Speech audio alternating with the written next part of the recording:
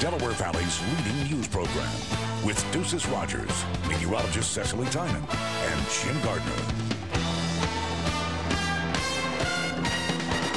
Monday night, Wilmington residents oppose a new charter school moving in, and hundreds of fish turn up dead in a lake in Ridley Park.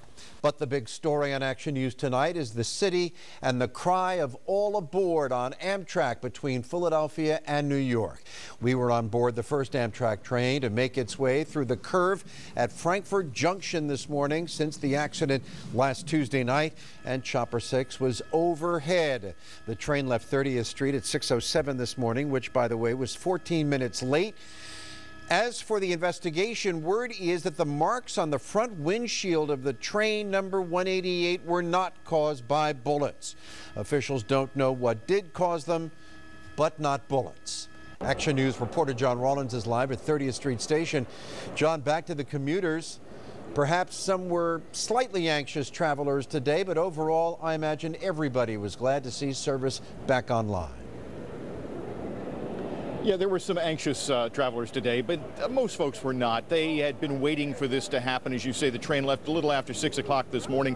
There uh, is a regular sort of cadre of people who use Amtrak to commute from 30th Street Station up to points north, including New York City, and they had been waiting for several days to get service back.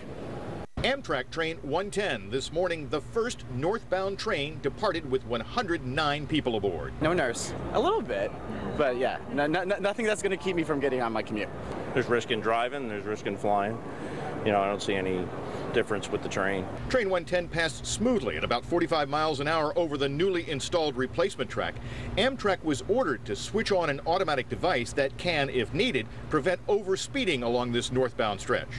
Prior to last week's derailment, it had only used the system on the curve's southbound tracks. Today, attorneys suing on behalf of four injured victims, including two Spanish tourists and Daniel Armyn, a New York executive, questioned why the railroad waited until now to employ an automatic train control northbound. Not only did you have an engineer going twice the speed limit, but there was a system available uh, to control it. The lawyers declared the report the train was hit by some sort of projectile a red herring and said a priority will be to talk to the train's engineer, Brandon Bostian, who the NTSB says told investigators he could not remember the train's minute-long acceleration before the crash. It always uh, raises red flags uh, when someone who's been involved in an accident going too fast has a sudden claim of no memory. Well, both attorneys here openly skeptical about the memory issue, questioning when it came about, asking at one point did it happen before or after the engineer spoke to his own legal counsel. Their plan is to depose him. That means to question him under oath and to do that as soon as they can. Live at 30th Street Station, John Rollins, Channel 6 Action News. Jim? Thank you, John.